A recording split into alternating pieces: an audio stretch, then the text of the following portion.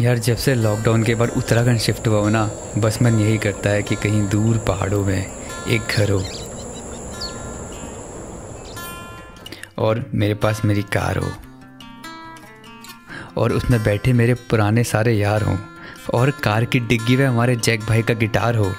और ऐसे ही घूमते फिरते गाते गाते यारों की यारी में ज़िंदगी बस यूँ ही गुजर जाए।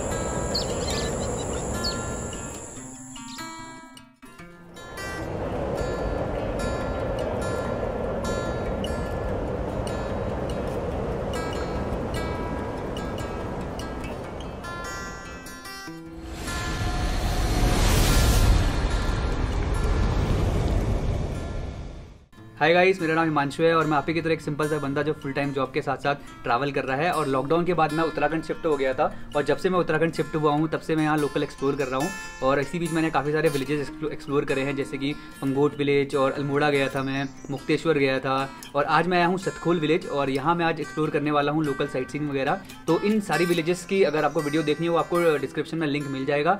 तो आज फ़िलहाल मैं इस रिजॉर्ट पर रुका हूँ, जिसका नाम है फ्रोजन वुड्स रिजॉर्ट तो आज इस वीडियो में आपको पता लगने वाला है कि अगर आप एक ऑफबीट डेस्टिनेशन में आना चाहते हैं उत्तराखंड में, जो कि बहुत ही अलग है, जो कि अननोन है इंटस्ड है। तो वो कौन सी है? यहाँ पर आना है तो आप कहाँ रुक सकते हो? और यहाँ तक आने के क्या क्या साधन है? कैसे कैसे पहुँचना है? और यहाँ आते हो तो आप क्या क्या कर सकते हो? वो सारी चीज़ें आपको इस वीडियो में देख, मिलने वाली है। तो इस वीडियो को लास्ट तक देखते रहें। सो गई सतकोल विलेज आने के लिए आपको सबसे पहले हल्द्वानी आना पड़ेगा। और हल्द्वानी आने के लिए बहुत सारी सुविधाएँ ऑलरेडी अवेलेबल हैं, जैसे कि बसेस और ट्रेन अवेलेबल हैं। और जब वहाँ हल्द्वानी से आप यहाँ आते हो तो यहाँ तक आने के लिए आपको बसेस भी मिल जाएँगी। बट वो बस जो है लिमिटेड रहती है। एक या दो ही चलती है। और अगर आपको बस से आना है तो उसके लिए आपको रामगढ़ की बस लेनी पड़ेगी। और कंडक्टर को बताना पड़ेगा कि मुझे सतकोल विलेज जाना है तो आप उसमें आ सकते हो। उसका किराया जो है वो डेढ़ के आसपास है, बहुत ही मिनिमल है। बट अगर दूसरे ऑप्शन की बात करें तो दूसरा ऑप्शन आप टैक्सी के थ्रू आ सकते हो, जिसमें आपको ढाई हज़ार रुपये के आसपास पड़ेगा बिकॉज़ जो इसकी डिस्टेंस है हल्द्वानी से यहाँ तक की पचहत्तर किलोमीटर के आसपास आसपास है। अगर आप अपनी गाड़ी से आ रहे हो तो आपको दो से ढाई घंटा लग जाएगा। तो अभी फ़िलहाल मैं आपको रिजॉर्ट का टूर दे देता हूँ फ्रोजन वुड रिजॉर्ट का और दिखाता हूँ कि कैसे हैं यहाँ पे कमरे और क्या क्या एरिया है इनके पास। और अगर आपको कैसा लगा रिजॉर्ट वो मुझे कॉमेंट करके आप ज़रूर बताना। सो so, इंट्री के साथ से इनका डाइनिंग एरिया यहाँ पे देखने को मिल जाएगा आपको जिसमें प्रॉपर लकड़ी का काम किया हुआ है। अमेजिंग वाइब आ रही है अंदर घुसने के साथ से।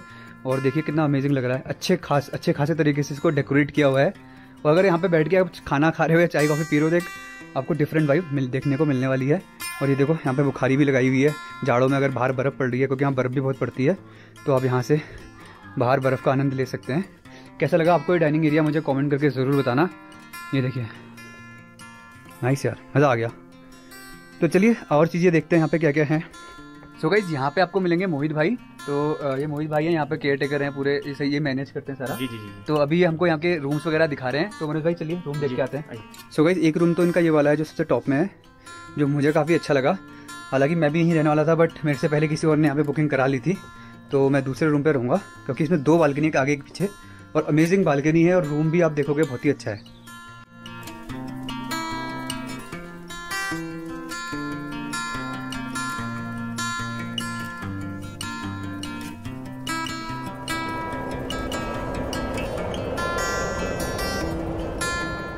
सो गाइस अगर आप बड़ी फैमिली के साथ आ रहे हो तो मुझे ये वाला रूम काफ़ी इंटरेस्टिंग लगा, क्योंकि देखो सामने एक तो काफ़ी ज़्यादा स्पेस है, और प्लस अंदर अगर आप जाओगे रूम के तो रूम भी काफ़ी अच्छा है स्पेसियस है। मतलब यहाँ आपको इतना सोफ़ा सेट दिया हुआ है स्टडी टेबल दी हुई है, और समझ लो मतलब बैटिंग एरिया अलग से दे रखा है। मतलब काफ़ी स्पेसियस है तो आप अगर सोच रहे हो कि फैमिली के साथ आओ अपनी तो ये रूम बेस्ट होने वाला है मेरे हिसाब से तो।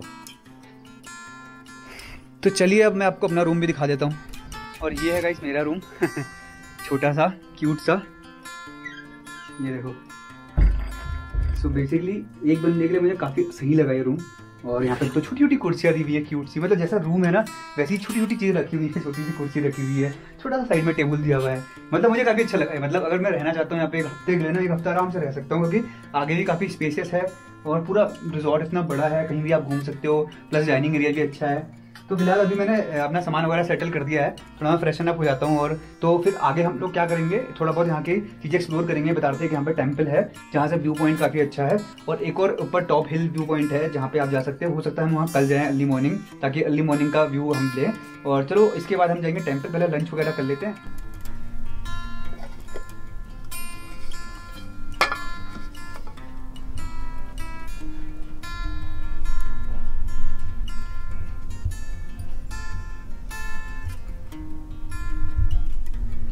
सो गाइस सो गाइस खाने में है आज आलू जीरा की सब्ज़ी और साथ में चावल और येलो वाली दाल और साथ में यहाँ पे सैलेड भी काट के दिया हुआ है और साथ ही साथ में आपको यहाँ पे सैनिटाइजर भी मिल जाएगा, जो कि अच्छी बात है।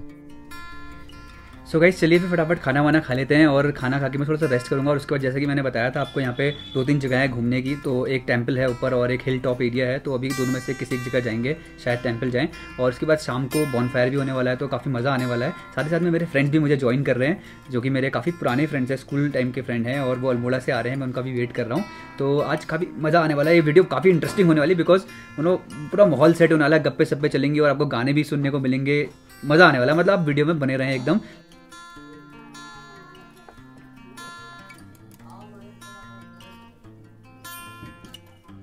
सो गाइस लंच करने के बाद मैंने थोड़ा चाय कॉफ़ी पी, थोड़ा सा अपना वीडियो का काम निपटाया वीडियो एडिट करी। आपने पुरानी वाली वीडियो देखी नहीं है तो ज़रूर देख ले लिंक मिल जाएगा डिस्क्रिप्शन में अल्मोड़ा की सीरीज़ चल रही है लास्ट वीडियो थी उसकी। और अभी फ़िलहाल मैं जा रहा हूँ मोहित भाई के साथ। आ, वो जो व्यू पॉइंट में आपको बता रहा था ना टेंपल है वहाँ से शाम को बड़ा अच्छा नज़ारा दिखता है तो वो देखने जा रहे हैं। हालाँकि अभी वेदर थोड़ा वाला है ना क्लाउडी और धुंध वाला उतना ज़्यादा तो नहीं दिखेगा बट जितना भी दिखेगा थोड़ा एक वॉक भी हो जाएगी और साथ साथ में थोड़ा बहुत ऊपर हवा भी खा लेंगे और मस्त नज़ारे भी ले लेंगे। तो वीडियो में बने रहें वो नज़ारा देखने के लिए और बाकी ये तो कितना चलना पड़ेगा भाई साहब यहाँ से? यहाँ से आपको आधा आधा किलोमीटर। आधा किलोमीटर के आसपास पैदल है तो ठीक है, थोड़ा बहुत ट्रैकिंग भी हो जाएगी धीरे धीरे चलते हैं और इवनिंग वॉक भी हो जाएगी।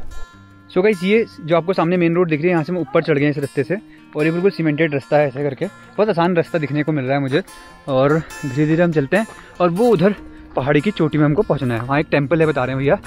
तो धीरे धीरे मस्त ठंडी ठंडी हवाएँ चल रही हैं, उसी का आनंद लेते हुए हम आगे की तरफ़ बढ़ रहे हैं।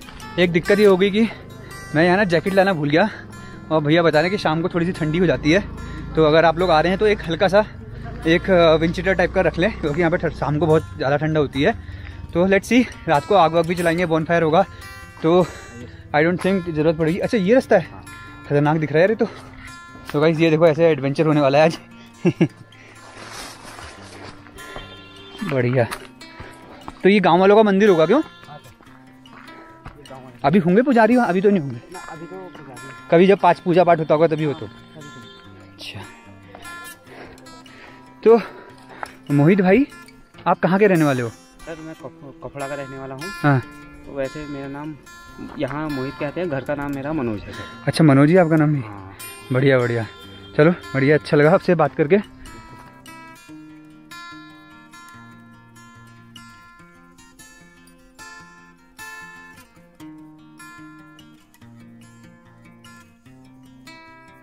सो so गाइस ये हम पहुँच गए हैं टॉप में।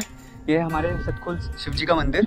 और मतलब ये गाँव वालों का टेंपल है तो इसलिए अभी भीड़ नहीं है। जब कोई पूजा पाठ होती है, तभी यहाँ पे पुजारी जी आते हैं। और अगर आप आते हो, यहाँ पर बहुत शांत वातावरण आपको मिल, देखने को मिलने वाला है। साथ ही साथ में अगर आप जाड़ों के टाइम पर आते हो, जैसे दिसंबर या नवंबर पे तो यहाँ पे आपको सामने पूरी हिमालय श्रृंखलाएँ साफ़ साफ़ दिखाई देंगी। तो अभी भैया बता रहे हैं कि आजकल जंगलों में आग लगी हुई है ना, उसकी वजह से धुंध काफ़ी ज़्यादा है। तो इस वजह से अभी कुछ उतना क्लियर दिख नहीं रहा है। पूरी आग लगी हुई है, धुआँ जल रहा ना। ये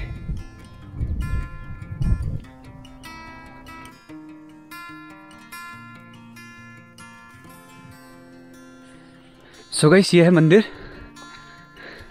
जैसा कि आप देखेंगे व्यू पॉइंट के साथ साथ आपको शिव जी के भी दर्शन हो रहे हैं। और क्या चाहिए मतलब? जय भोलेनाथ। जय हो प्रभु। भोले बाबा बैठे हुए हैं बढ़िया करके एकदम। जय भोलेनाथ। अरे वाह, यहाँ से भी व्यू है यार। यहाँ से भी दिखती हिमालय। बहुत बढ़िया। ये सामने आपका ऊपर भी है मुक्तेश्वर एरिया है। कौन सा वाला?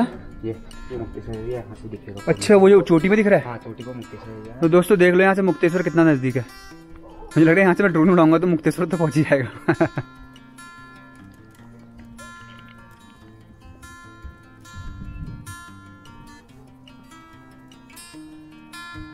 तो इस मंदिर के हमने दर्शन कर लिए हैं और व्यू का भी आनंद लिया। हालाँकि व्यू इतना साफ़ नहीं दिखा बिकॉज़ ऑफ़ धुंध एंड ऑल बट हमारा प्लान अभी ये बना है भाई साहब के साथ, मोहित भाई साहब के साथ कि कल अर्ली मॉर्निंग आएँगे, क्योंकि इनका कहना है कि अगर आप अर्ली मॉर्निंग आओगे तो आपको व्यू साफ़ दिखाई देगा। तो इसलिए अभी फ़िलहाल हम जा रहे हैं रिजॉर्ट में अपने वापस, और वहाँ जाके मैं थोड़ा अपना देखता हूँ रेस्ट वेस्ट कर लेता हूँ, कुछ वीडियो एडिट करनी हो कर लेता हूँ। उसके बाद फिर कल सुबह हम लोग जाएँगे दूसरे वाले टॉप व्यू पे, और अगर मौका मिला तो इधर भी आ जाएँगे ताकि यहाँ का भी व्यू आपको देखने को मिल जाए। और अभी मेरे फ्रेंड्स भी आने वाले हैं तो हो सकता है आगे कुछ इंटरेस्टिंग सी स्टोरी आपको देखने को मिल जाए सो स्टेट यू मेरे मन ये बता दे तू किस ओर चला है तू? क्या पाया नहीं तूने? मज़ा आया? बहुत मज़ा आया। आप अच्छे गिटार गाते हो। क्या हुआ रहता हूँ। आँखों में तेरी दीवाना बन गया हूँ मैं चाहत में तेरी डूबा डूबा रहता